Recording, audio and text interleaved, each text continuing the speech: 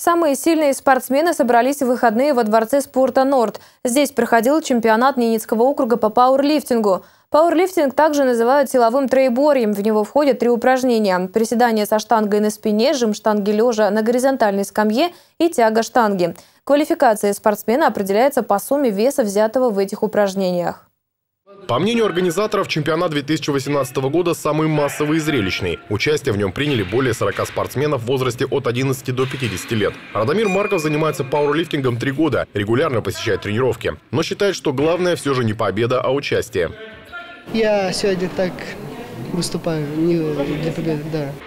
Пауэрлифтинг – один из самых популярных сейчас видов спорта, как среди юношей, так и среди девушек. Но для того, чтобы успешно выступать на соревнованиях, важно регулярно тренироваться, считает педагог Валерий Мартынов.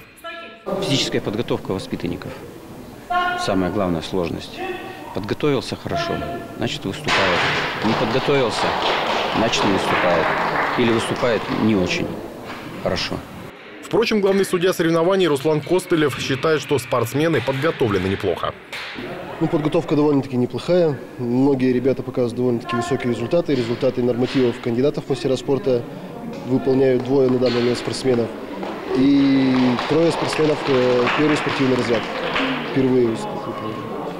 Таким образом, в абсолютной категории среди женщин победа за воспитанницей Норда Галиной Подледновой. Кроме того, она выполнила первый спортивный разряд. У мужчин в абсолютном зачете лидерство за Виктором Поповым. Кроме того, спортсмены Сергей Ермолин, выполнивший первый спортивный разряд, Александр Кисляков, ставший кандидатом в мастера спорта, и Галина Подледнова будут защищать честь округа на всероссийских соревнованиях в Москве.